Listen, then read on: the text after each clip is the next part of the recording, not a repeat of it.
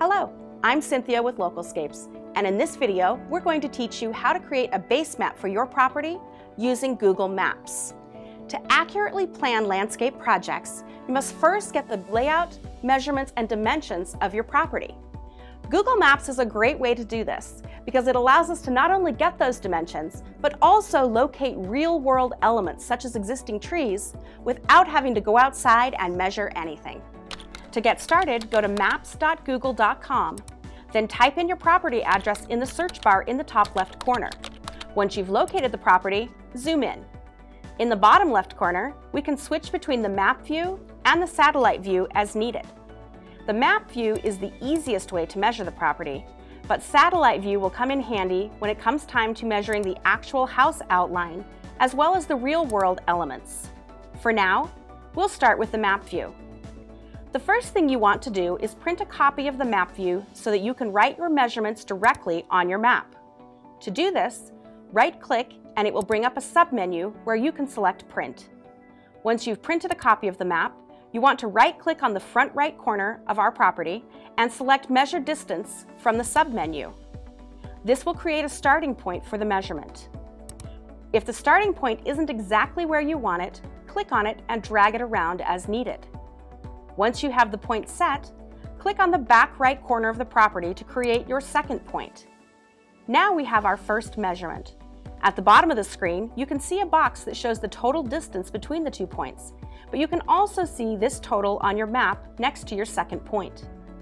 This measurement isn't going to be perfectly accurate as it is just an estimate, so go ahead and round up or down as needed.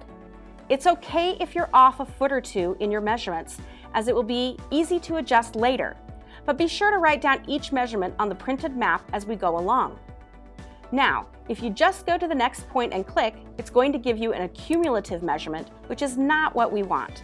So make sure that you're measuring each side of the property. Just click and drag the points to where you need them to measure the second side individually. Once you have the points where you need them, you can see the distance at the bottom of the screen or again next to the second point in your measurement. Be sure to write down the measurement of each side as you go through them. If you accidentally clear the measurement points, simply right-click and select Measure Distance again to choose new points.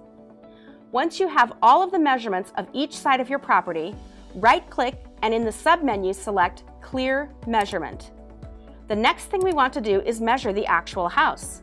To measure the house, we recommend that you switch to the satellite view because the map view has a very simplified shape of the house and it may not be very accurate. To switch to satellite view, click the box in the bottom left-hand corner, then right-click and select Measure Distance. This time, set your first point at the back corner of the house and your second point at the opposite back corner to measure the back side of the house. Continue to measure each side individually and be sure to write down the measurement of each side on your printed base map. Once you've measured each side of the house, the last thing you want to do is determine measurements from the house to the property line or existing elements. If you're measuring from the corner of the house to the property line, it can be tempting to measure from the corner of the house to the corner of the property. The problem with this is that it may not be a straight line, and in this program, we really have no way to determine the correct angle.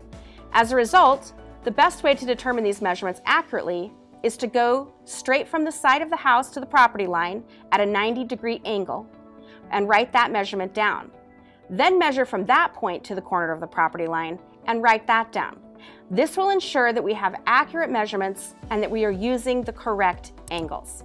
To measure existing elements, such as trees, set your first point at the center of the tree, then measure from there to the side of the property.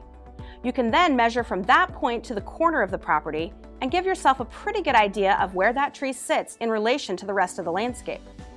In the bottom right-hand corner of the map, there is a view rotation setting which may help you see certain areas or elements better if you rotate your view around. If you have too much tree coverage, this technique may not work well for you and you may have to do some measuring by hand. But it's still important to ensure you have all your needed measurements on your base map before you start your project. Once you have all of your measurements, you'll need to transfer them to a larger piece of paper so that you have a base map that's large enough to draw on.